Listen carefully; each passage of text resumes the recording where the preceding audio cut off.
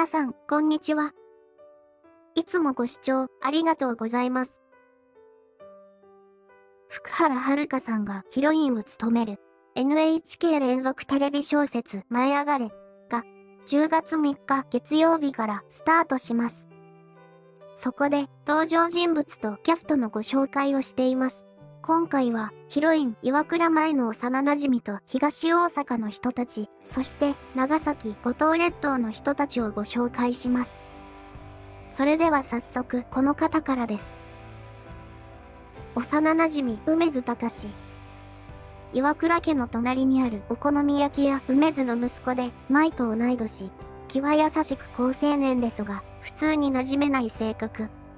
幼い頃に古本屋で人で会って言葉を紡ぎ出すことに興味を持ち、やがて舞にとって心のオアシスのような存在になっていきます。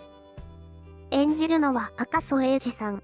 1994年生まれの28歳。大阪府森口市生まれ、愛知県出身。2017年仮面ライダービルドの仮面ライダークローズ役に抜擢され注目を浴びます。2020年30歳まで童貞だと魔法使いになれるらしいで単独ドラマ初主演を果たし、2021年秋にはドラマスーパーリッチに主要キャストで出演。2022年も石子と羽男にレギュラー出演するなど活躍中。朝ドラへは初出演です。赤楚衛二さんのコメント。今回、連続テレビ小説に初めて出演させていただき、大変光栄に思います。僕の演じる高志は、とてもセンシティブで自分の世界を持っています。夢に向かって生きる舞ちゃんの幼馴染として、肩肘張らずに背中を押してあげられる存在になれたらいいなと思っています。見終わった後に皆様が素敵な一日を過ごせるような作品になりますよう頑張ります。前の同級生、望月くるみ。幼い頃に両親が離婚して父子家庭で育ち、実業団のラグビー選手だった父が怪我で失職したせいで経済的に貧しい子供時代を過ごします。舞が気にかけてくれたのをきっかけに親友になりますが、舞とは対照的に堅実な看護師の道を目指すようになります。演じるのは山下美月さん。1999年生まれの23歳、東京都出身。アイドルグループ、乃木坂46のメンバー3期生として、アイドル、女優、ファッションモデルなど幅広く活躍中。2020年にドラマ化され、2021年に映画化された映像犬には手を出すのでは赤楚衛二さんと共演されています。2021年ドラマ、じゃない方の彼女ではヒロイン役を務めています。朝ドラは初出演です。山下美月さんのコメント。多くの人の朝に光を照らし続けている。連続テレビ小説に出演させていただけることが決まり、今にも舞い上がりそうな気持ちです。前に寄り添いながらも、自身の困難に立ち向かっていく、くるみのたくましさに私自身が勇気をもらっています。くるみと一緒に私自身も成長し、ご覧いただく皆さんに前向きで温かい風をお届けできるよう全力で演じさせていただきます。たかしの父、梅津勝。お好み焼き屋梅津の主人でたかしの父親、前の父、小歌の幼馴染でもあります。地元のプロ野球チーム、近鉄バファローズの大ファンで、お客さんへのサービス精神も旺盛です。演じるのは山口智光さん。1969年生まれの53歳。大阪府四条縄手市出身。グッさんの愛称で親しまれている山口さんは朝ドラの常連さんです。1999年アスカ、2007年妹田コナンキン、2016年朝が来た、2016年トト姉ちゃんと出演されていて、今回が朝ドラ5作目です。高志の母、梅津幸乃。勝の妻で梅津の女将。前の母、めぐみの良き相談相手ですが、自身も心配性な面があり、何かと突っ込んでくる夫と、いつも情緒発しの会話を繰り広げています。演じるのは桑畑理恵さん。1976年生まれの46歳。大阪府大阪市出身。朝ドラは初出演です。笠巻久幸。小歌が経営する工場のベテラン職人。先代社長牧谷と2代目の小歌を支えてくれています。同僚たちから一目置かれていて、後輩職人の勇気を育てようと厳しく指導しています。演じるのは古舘寛治さん。1968年生まれの54歳。大阪府大阪市出身。逃げ恥の山さん役が印象的でした。朝ドラは2008年瞳、2013年あまちゃんとごちそうさんに出演。八木岩尾、古本屋デラシネの主人、本好きの高志やその友人の舞たちに奥にある茶の間を提供してくれる自由人。自分の詩を自費出版しており、その詩を読んだ高志に多大な影響を与えます。演じるのは又吉直樹さん。1980年生まれの42歳。大阪府寝屋川市出身。お笑いコンビピースのボケ担当ですが、芥川賞作家としての方が有名かもしれません。NHK では大河ドラマセゴドンに出演されています。朝ドラは初出演です。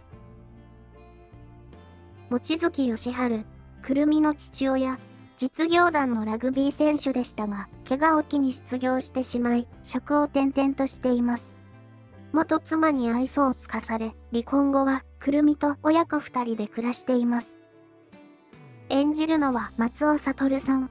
1975年生まれの46歳。兵庫県尼崎市出身。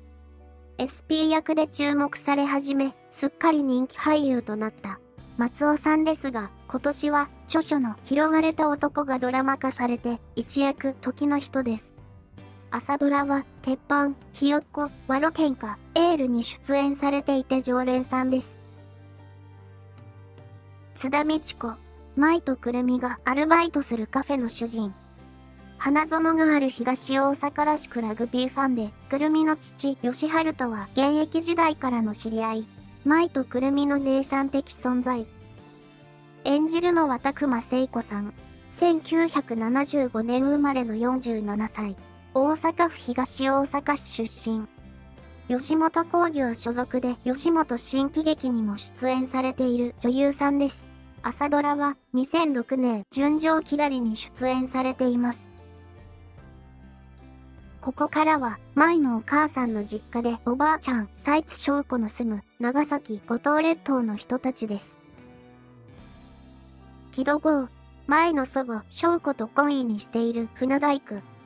翔子の亡き夫が操縦していた船も作りました。息子が島を出て家業を継ぐ気がないのを寂しく思っています。演じるのは相川翔さん。徳島県徳島市生まれ、鹿児島県鹿屋市出身の61歳。1984年一世風靡セピアメンバーとしてレコードデビュー。1988年、長渕剛さんから直々に出演依頼を受け、ドラマトンボに出演。竹内力さんと共に V シネマの帝王と呼ばれていたカブトムシおじさん。朝ドラは初出演です。裏信号。役場勤めで前の母親、めぐみの同級生。翔子とは家族ぐるみのお付き合いを続けています。子供の一家たちが舞と仲良くしているのを見守り、前の成長を楽しみにしています。演じるのは鈴木康介さん。1974年生まれの47歳。福岡県北九州市出身。2007年、ライアーゲームの福永役が当たり役になりました。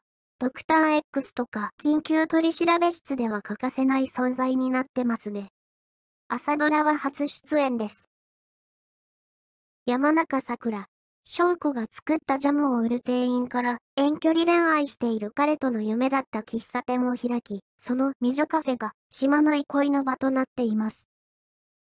演じるのは長浜ねるさん。1998年生まれの24歳。